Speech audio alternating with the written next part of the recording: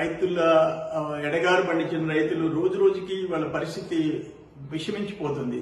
దారుణమైన పరిస్థితులు ఎదుర్కొంటున్నారు. ఆఖరాన్న రోడ్ల మీద రాస్తారోకలు చేస్తున్నారు. సంఘంలో కానీ ఇతర ప్రాంతాల్లో మీరు వాళ్ళ మీద కేసులు పెడతారు. రైతుల మీద కేసు పెట్టే హక్కు మీకు ఎవరిచ్చారు ఇటువంటి దారుణం ఈ రోజున్న పరిస్థితి నెల్లూరు జిల్లా చరిత్రలో లేదు. అంత తీవ్రంగా నాలుగైదు వందల కోట్లు నష్టపోయినారు. మళ్ళీ రైతుల మీద కేసు పెడతారు. దీన్ని నేను తీవ్రంగా ఖండిస్తున్నా. వెంటనే ఆ కేసులు విత్డ్రా చేసుకోమని చెప్పి నేను నెల్లూరు జిల్లా పోలీస్ యంత్రాంగానికి విజ్ఞప్తి చేస్తున్నాను. అయ్యా మాకు విషయం దాగైనా మేము ఆత్మహత్య చేసిన సిద్ధం అనే పరిస్థితికి మొదటిసారి నెల్లూరు జిల్లాలో చరిత్రలో రావడం ఇదే ఫస్ట్ టైం. మీరు ఎకరాకి రెండున్నర పుట్టి మూడు పుట్లు కూడా పండలేదు.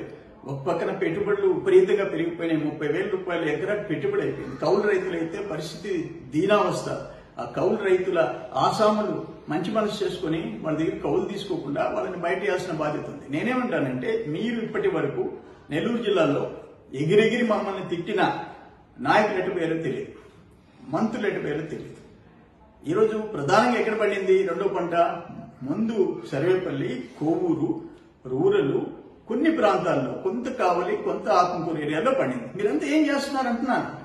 ఇన్ని రోజులు సమస్య కొనసాగుతుంటే ఇంకా రోజు రోజుకి దిగజారిపోతుంటే పదివేలు తొమ్మిది వేలు ఎనిమిది వేలు ఏడు వేల ఐదు వందలు పుట్టి ఎనిమిది వందల యాభై కేజీల నుంచి తొమ్మిది వందల యాభై వెయ్యి యాభై పదకొండు వందల యాభై కేజీలు పోల్చుకునే పరిస్థితి వస్తే మీరు ఏం చేస్తున్నారు అని అంటున్నా నేను. మేము ఎప్పుడు వదిలిపెట్టలే. మేము అపోజిషన్లో ఉన్నా పొజిషన్లో ఉన్న రైతుల కోసం జిల్లా ప్రజల సమస్యల కోసం పోరాడాం. రెండు వేల పదహారులో ఒక్కసారి కరువు వచ్చి ఒక్కసారి వరదలు వచ్చేసి నలభై లక్షల పుట్లు పండితే అన్ని రాష్ట్రాల్లో డిమాండ్ ఉంటే పోయి ముఖ్యమంత్రి గారి దగ్గర కూర్చొని డిపార్ట్మెంట్లు ఇబ్బంది పెడుతున్నారు. రైతుల ధాన్యానికి విలువ రానికుండా చేస్తున్నారు.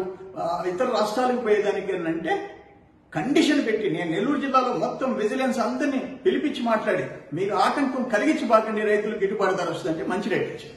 నలభై లక్షల పుట్లు పద్దెనిమిదిలో మేము బోనస్ ఇచ్చాము బీపీటీకి బోనస్ ఇచ్చాము. పదిహేడు వందలు పుట్టికి ఇచ్చాము. నాలుగు పుట్లు పడింది. ఆరు వేల ఎనిమిది వందల రూపాయలు పుట్టికి వచ్చింది నెల్లూరు జిల్లా ఏ గ్రేడ్ బి గ్రేడ్ తేడా వస్తే ఆరు వందల ముప్పై రూపాయలు పుట్టికి ఇప్పించాము. నాలుగు పుట్లు పండితే దాదాపు రెండు వేల ఐదు వందల రూపాయలు ఒక ఎకరాకి వచ్చింది. ఈ రోజు మీరు మీ మీ వల్ల కాదు మీ ఛార్జ్ కాదు. నేను ఒకటే చెప్పాను మీకు. అయ్యా పుట్టికి ఆరేడు వేల రూపాయలు నష్టం వస్తుంది. మూడు పుట్లకి చాలా ఇరవై చిల్లర వేలు నష్టం వస్తుంది. ఎకరాకి మూడు పుట్లు తమాషా వేసుకొని పుట్టికి ఐదు వేలు లెక్కన పదిహేను వేల రూపాయలు నష్టపరిహారం ప్రభుత్వం చేత ఇప్పించండి.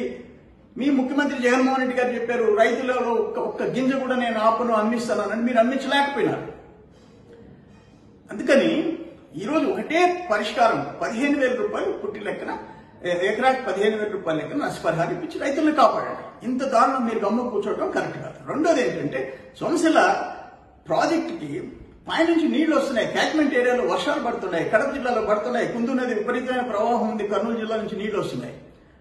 మీకు ఇరవై వేలు ముప్పై వేలు నలభై వేలు శ్రీశైలం పోతేటిపాడు నుంచి నీళ్ళు వస్తున్నాయి. రోజు రోజుకి పెరుగుతుంటే మీరు గేట్లు ఇచ్చేదానికి అప్పుడు పోయి లాస్ట్ మినిట్ మూడు గంటల్లో రిజర్వాయర్ డ్యామ్ నిండిపోయి పొల్లిపోయే పరిస్థితుల్లో అప్పుడు పోయి గేట్లు రిపేర్ చేసుకుంటారా? మీ ట్రాన్స్ఫార్మర్ ట్రబుల్ అని చెప్పుకుంటారా? ఒకవేళ ఇంకో నాలుగైదు గంటలు ఆలస్యం అయితే ఏంది డ్యామ్ పరిస్థితి ఏంది? జిల్లా ప్రజల బతుకులేంది. ముందుగా చూసుకోవాల్సిన బాధ్యత లేదా? డిపార్ట్మెంట్కి ఏదేమైనా ఇంత నిర్లక్ష్యంగా ప్రవర్తించడం కరెక్ట్ కాదు. ఫైనల్గా గా రైతులకి ఎకరాకి పదిహేను వేల రూపాయలు ఇప్పించండి. మీరు మంత్రులు ఎమ్మెల్యేలకి మేమే వచ్చి సన్మానం చేస్తాం. మీ మాదిరిగా మేము తిట్టేవాళ్ళం కాదు. మీరు మీరు అపోజిషన్లో ఉన్నా మీరు నోరు పారేసుకుంటారు. ప్రతిపక్షంలో ఉన్నా అధికార పక్షంలో ఉన్నా మమ్మల్ని తిడతారు. మేము అట్లా తిట్టడం మా చేతి కాదు. మేము ముందు వాళ్ళ నష్టపరిహారం ఇప్పించి రైతుల్ని కాపాడాలి.